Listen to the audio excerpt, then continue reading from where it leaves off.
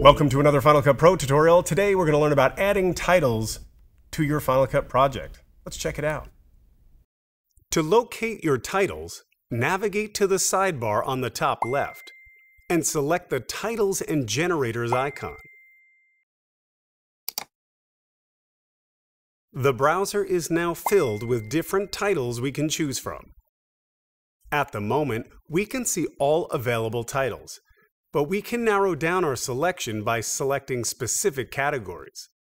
For example, we can choose lower thirds or 3D to see those specific titles.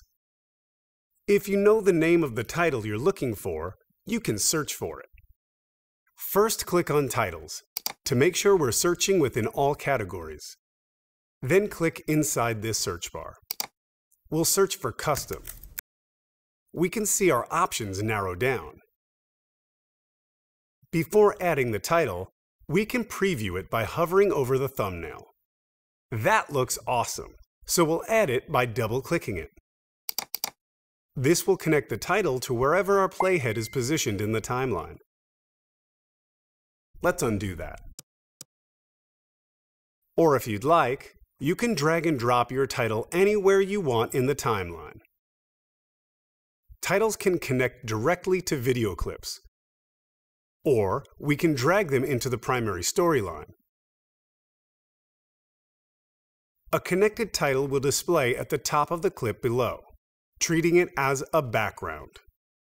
But the title on the primary storyline with no clips underneath it will simply have a black background. After adding a title, you can edit. Check out the video we linked in the description below for more about editing your titles.